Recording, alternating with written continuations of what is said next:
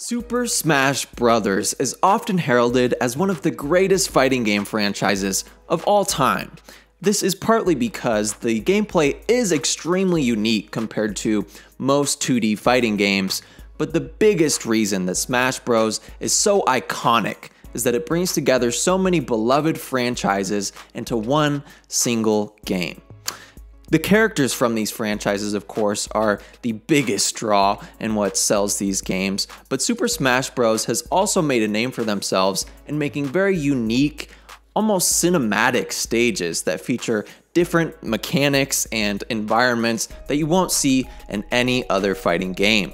We really have no idea still about which existing stages will be returning or not, but either way, there's bound to be at least a few completely new stages, and I've already come up with a few ideas of stages that I'd personally like to see make an appearance.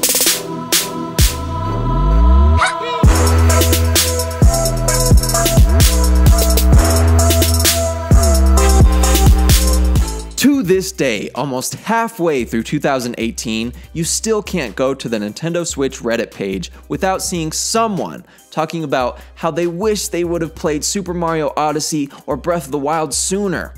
Both of these games won literally hundreds of Game of the Year awards each last year and will probably be hailed as two of the best Nintendo games of all time for at least the next hundred years. For this reason, there is no chance at all that both of these games won't get at least one stage each in Smash for Switch.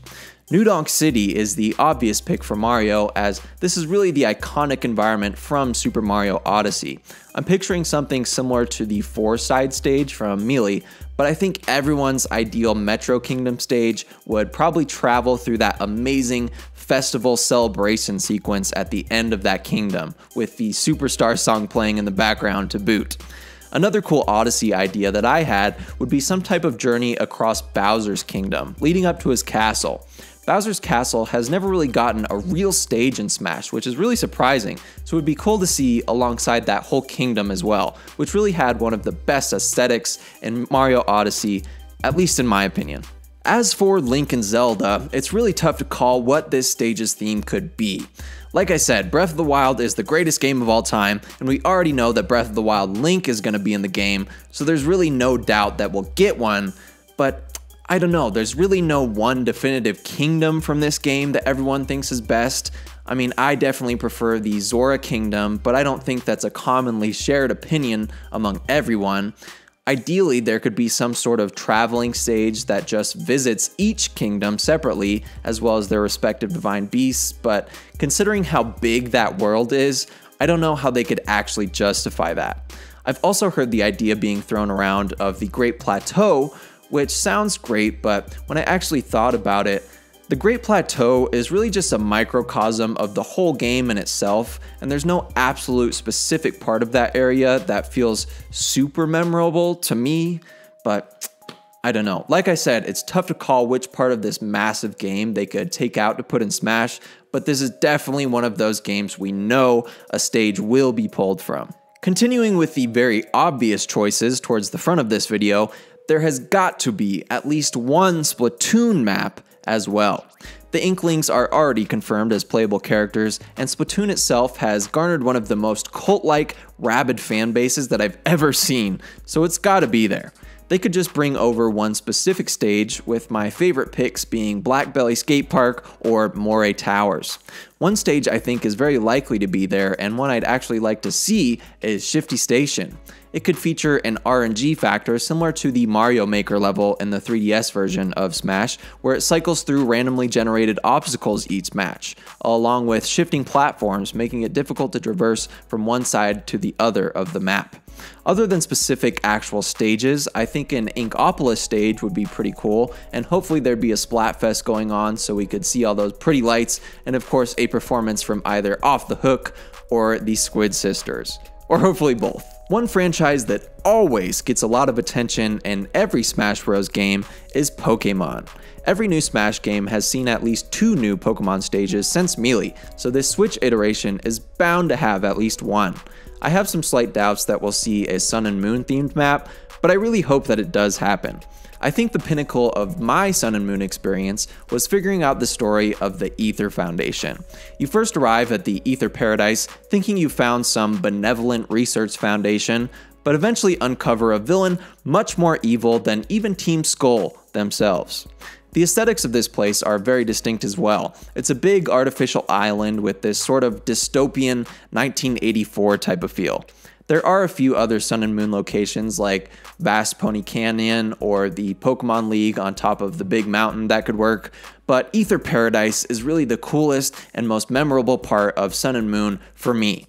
Of course, I'd also be okay with just getting Pokefloats back. Please, Sakurai, just let me jump through the sky on the backs of giant Pokemon again. Please!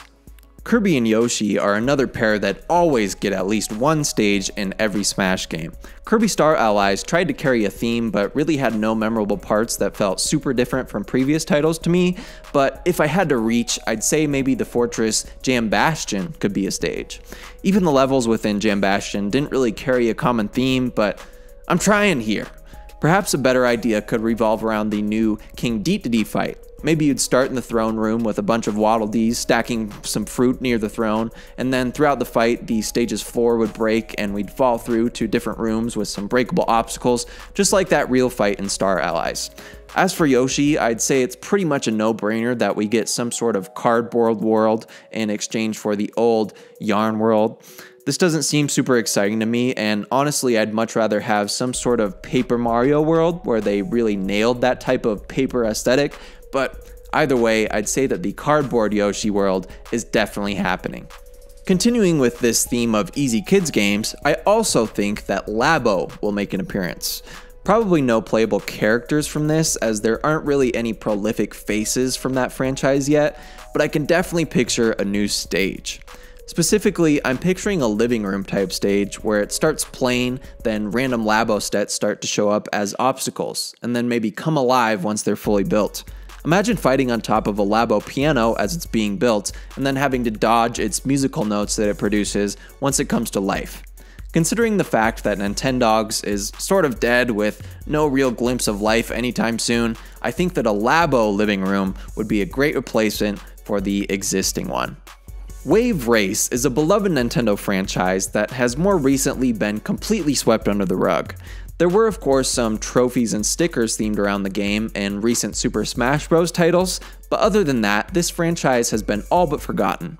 That all changed though a few days ago when series producer Shinya Takahashi said that he is working on some new games and that we may see a new Wave Race.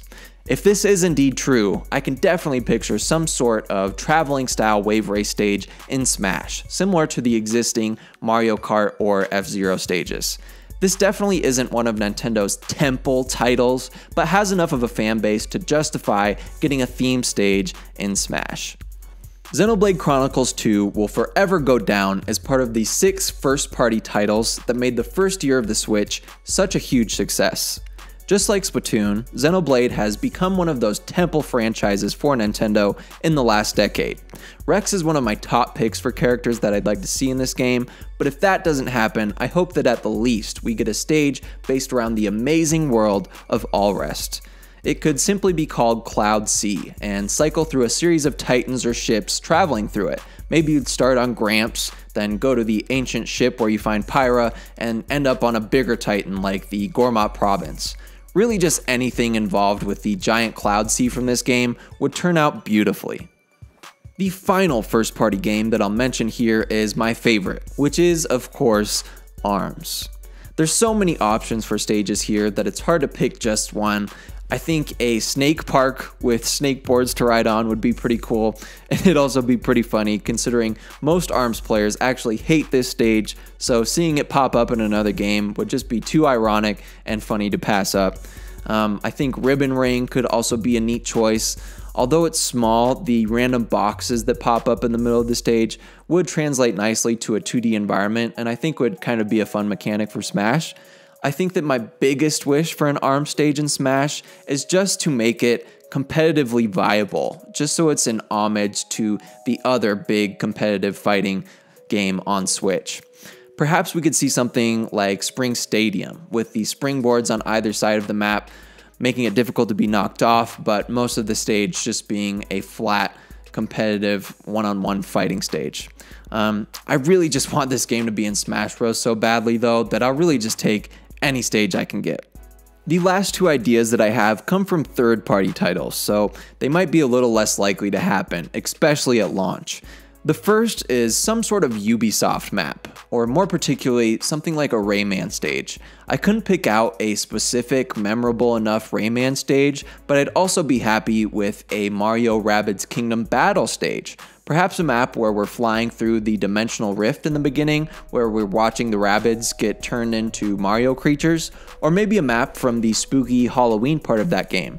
Super Smash Bros. has an increasing amount of third party games featured in recent titles, and judging by the close relationship of Ubisoft and Nintendo recently, I think it's a safe bet that we'll get some sort of Ubisoft game in the next Smash title. Even beyond accepting major third party developers, though, is another big change that Nintendo has shown in their last few years, and that is a large affinity for indies. The Switch has quickly become the premier place for indie games, and most multi platform independent releases have seen their largest numbers on the Switch eShop. Perhaps the biggest of all of these indie titles, though, is Shovel Knight. Shovel Knight was actually released way back in 2014, but even in 2015, before the Switch was even a flicker on the horizon, we got the first third party amiibo, which was the official Shovel Knight amiibo for Wii U and 3DS.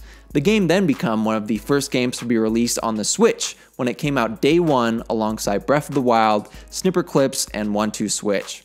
Later in 2017, Nintendo announced three new Shovel Knight amiibo to be released this year, along with the brand new King Knight campaign. I say all this to enforce the fact that Nintendo just loves Shovel Knight, and through this, they've even grown to love other indie games as well. Heck, they even gave them their cute little name in Nindies, and they give them their own direct presentation twice a year now. Nintendo obviously has a soft spot for indies now, and Shovel Knight was the catalyst in not only Nintendo's changed perspective of indie games, but also the world's perspective. This is why I think Shovel Knight will not only be a playable character in this upcoming Smash game, but also might see a stage as well. My top two choices for a Shovel Knight map would be either the King Knight or Spectre Knight stages. Um, when I think back to this game, the first thing that I see is either of those two stages, so those just make the most sense to me. Whether or not we actually see any of these, I'm sure that the new stages in Smash for Switch are going to be insane. Like I said, this team has become known for making wild environments and an almost cinematic experience, unlike anything you'd see in any other fighting game. Let me know your hopes for new stages down in the comments, leave a like on the video if you enjoyed, and subscribe to my channel for the latest Switch content available. This is Max from Max Culture, and thank you for watching.